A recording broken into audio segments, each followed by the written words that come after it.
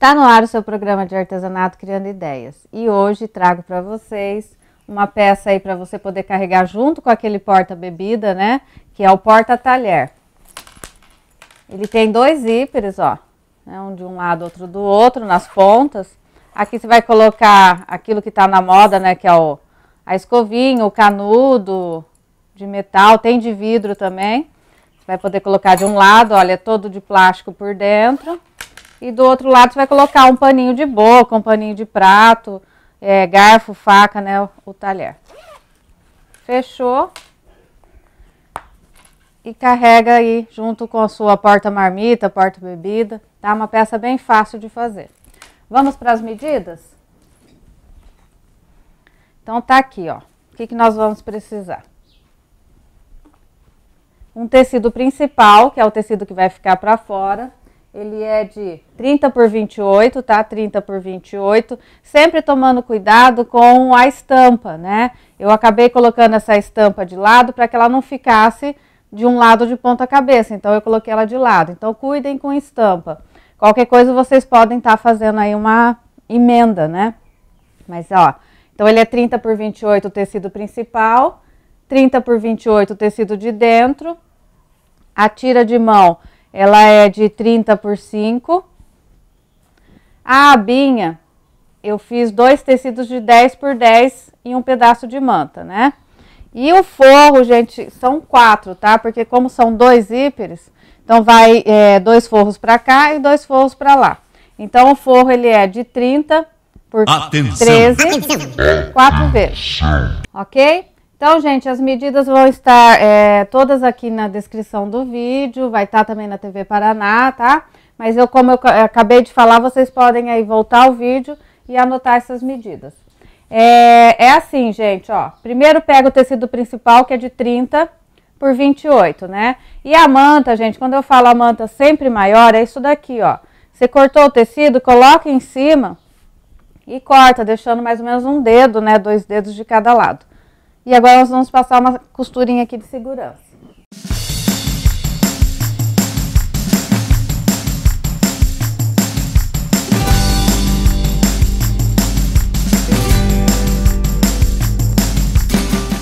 Tira o excesso da manta.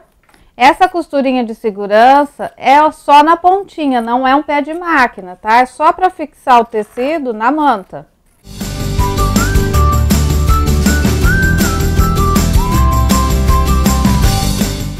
Ok? Então, gente, se atentem bem ao lado do 30 e ao lado do 28. Aqui é o 30. No lado do 30, eu vou achar o meio dele.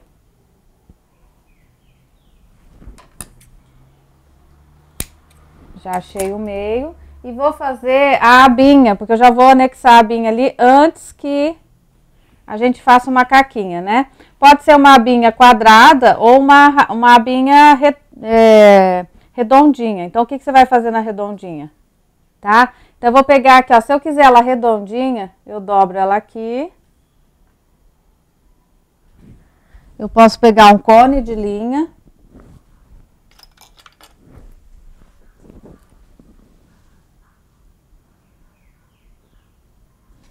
Faço um redondinho aqui, ó. E corto. Ok? Só em um lado. O outro lado eu vou deixar ela redondinha ela quadrada. Coloco a frente com frente, jamais esquecerei, e vou costurar toda a volta, deixando uma abertura embaixo. Inicio com nó.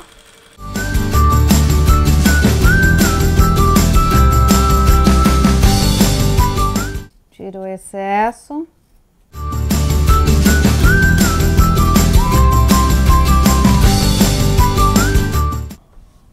Desviro. Quem não quiser rebater uma costurinha aqui, não precisa, tá? É só passar um ferrinho bem bacana. Eu vou rebater.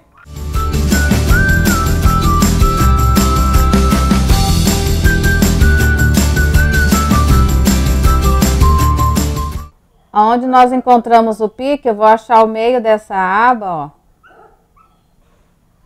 E vou já passar uma costurinha segurando ela. Certo? Agora nós vamos colocar o zíper.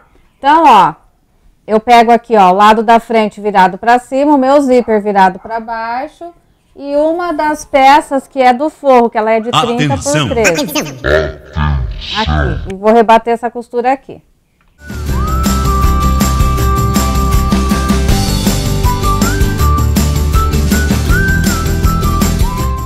Ó, viro ele para cá, puxo e já vou rebater uma costura aqui. Lembrando de puxar a aba para cima, tá?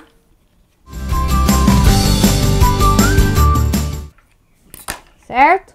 Agora eu vou pegar aquele meu outro tecido, que é o tecido de forro, que é a mesma medida de 30 por 28. Eu vou pegar esse outro lado do zíper aqui que sobrou, ó, essa daqui não vai manta, tá? Porque senão vai ficar uma peça muito grossa, então ela não vai a manta, a manta vai só no tecido principal.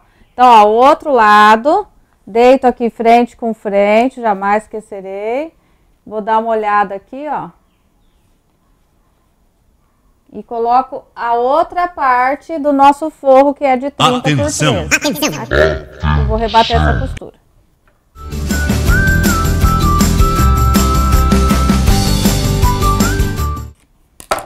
Ok, ó. Mesma coisa. Puxo pra cá e vou rebater essa costura aqui para segurar o forro. Por que, que a gente rebate essa costura? Porque é, é zíper, né? A hora que você abre e fecha, ele enrosca no forro. Então é bom sempre rebater essa costura quando possível.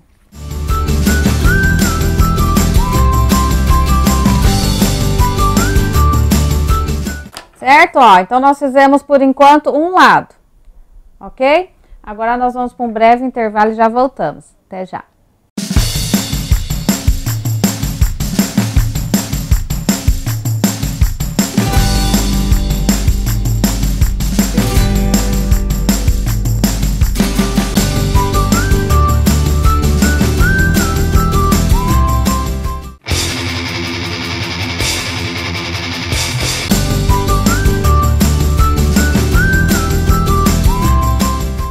Voltamos. Gente, ó, nós fizemos aqui um lado, tá? Colocamos o zíper já com a abinha de um lado. Agora eu vou pegar esse mesmo tecido principal, a outra ponta dele, coloco ele aqui na minha mesa, esqueço tudo que eu fiz aqui, tá? Coloquei ele aqui, vou pegar o meu outro zíper, coloco aqui, uma parte do forro, porque foram quatro, né, que a gente cortou, foram quatro, e usamos duas aqui e duas aqui. Essa daqui Atenção. ela é de 30 por 13, frente com frente, jamais esquecerei. E rebato essa costura aqui.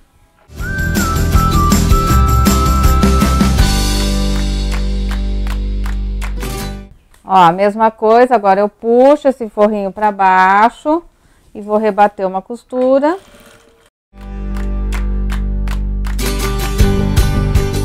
Ok? Agora, gente, nesse forro aqui, ó, que foi costurado na primeira parte, eu vou pegar essa parte do zíper, ó, e vou deitar nele aqui, ó, tá? Frente com frente, ó. A outra partezinha, no mesmo forro. Aí eu pego a outra parte, última, coloco por cima e rebato essa costura.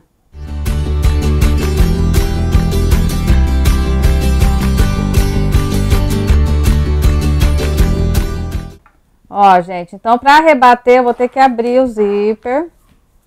Viro o meu forrinho para trás. E rebato essa costura aqui também.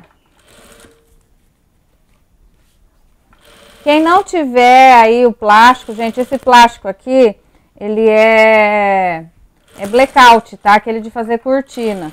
Tem lojas que vendem plástico para toalha de mesa, pode ser. Tem um tal do bagum também, pode ser.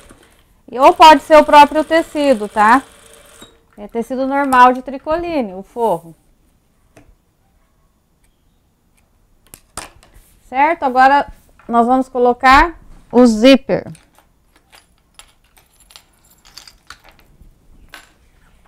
Então eu venho aqui, ó, como eu sempre explico, do meu lado direito eu vou tirar o trilho, um pedaço do trilho só. Entro com o zíper do lado direito até o rumo ali onde eu cortei.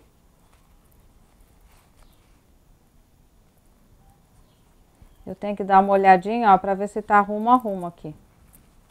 Ok? Coloquei de um lado, agora vou colocar aqui do outro. Se eu quiser que o zíper entre de lados é, contrário, né, que fique assim, ó, então você se atente agora nesse momento. Eu quero que ele fique tudo do mesmo lado. Eu venho do mesmo lado, ó, abro, tiro o trilho do lado direito, entro com o zíper do lado esquerdo,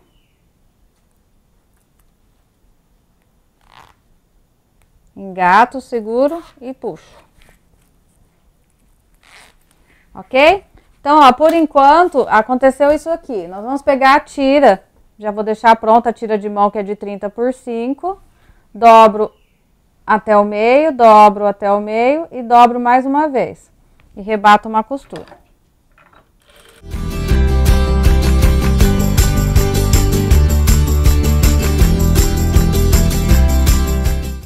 Aí você vai ver onde que você vai colocar, tá? Cada um tem um lugar de, de adaptar aí. Eu vou colocar aqui, ó.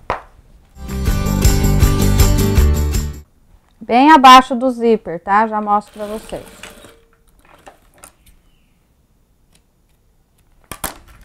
Ó, coloquei bem abaixo do zíper, porque depois ela fica nesse rumo aqui, ó.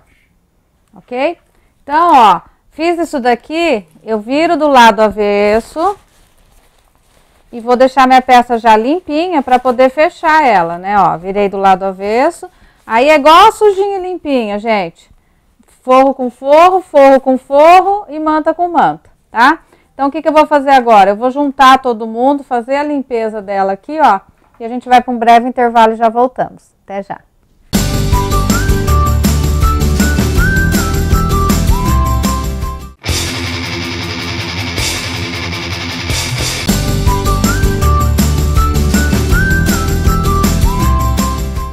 Voltamos. Ó, gente, então, ó, se você precisou fazer a limpeza, né, faça a limpeza aí, porque às vezes fica um tecido meio tortinho, né, na hora da costura. Eu coloquei, gente, o zíper pra dentro, tá? Você pode colocar ele total pra fora, que é, seria dentro do forro, ou ele todo pra dentro do tecido, que é o tecido principal aqui. Eu coloquei eles todos pra dentro pra vocês verem como que fica. Essa peça aqui, ó, eu coloquei ele pra fora. Ó como que fica, ó. Então, é, cada, cada um vai ficar de um jeito, né? Aí você vê qual melhor você gosta. Então, ó, feito isso, ó. Forro, forro e, o, e a manta, o corpo principal. Então, nós vamos começar a costurar aqui pelo forro, deixando uma abertura. Lembrando, gente, que é plástico, tá? O plástico você tem que ter um pezinho especial de teflon, que é esse que eu tô usando na máquina. Ou, para quem não tem, né, um pé de de plástico, pode colocar uma fita crepe embaixo, porque senão vai grudar, tá? Aí você não consegue costurar.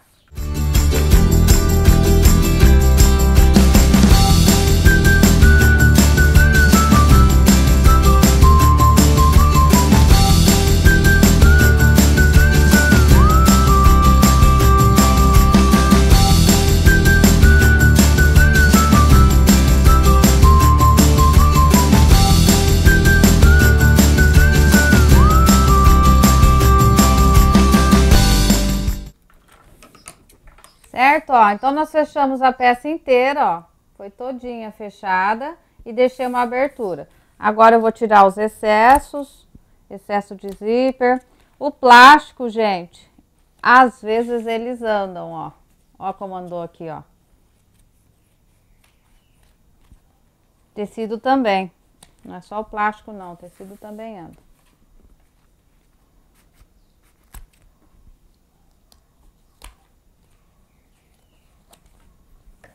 Certo? E agora, com muito cuidado, tem que desvirar a peça. Por que muito cuidado? O plástico, se você forçar ele, ele rasga, né? Então, ó, eu coloco a mão aqui dentro, abro o meu zíper, abro o zíper lá embaixo também.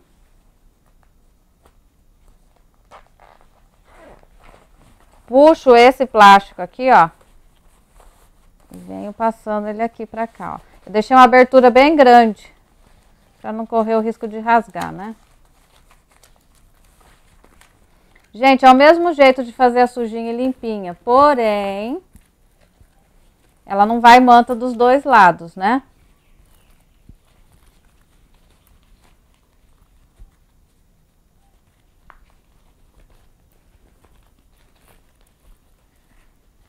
Ó, vocês vão ver que ela dá um detalhe aqui, um tipo um pique né? Onde você coloca o zíper dessa forma, ele fica como se fosse um pique.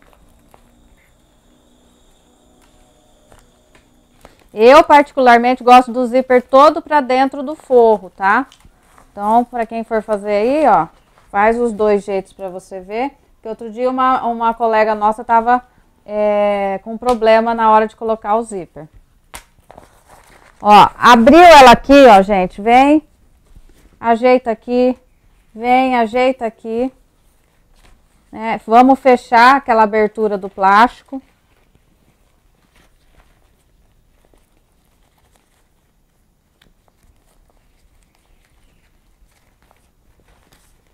O plástico, quem tiver problema e for um plástico mais grosso, ele só assenta se você passar um secador de cabelo nele, porque daí ele dá uma aquecida e fica mais fácil, mais maleável, né? Ó, aí você dobra aqui, ó.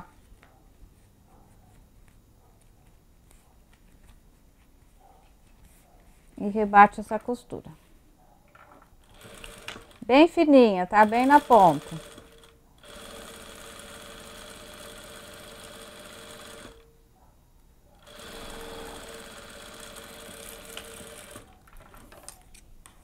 Ok? Então, agora é só encaixar ele todinho lá pra dentro, empurrar e terminamos a peça.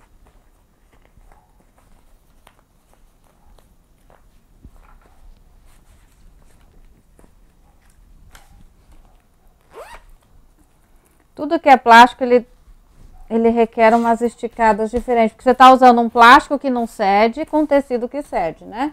Aí, gente, ó, você vai lá, vai achar o meio, vai colocar um tic-tac, ou se você for colocar aquele botão de, de imã, e vai fechar aqui. E tá pronta a nossa peça, tá? Aí, no tecido sublimado e no tecido de tricoline, ok?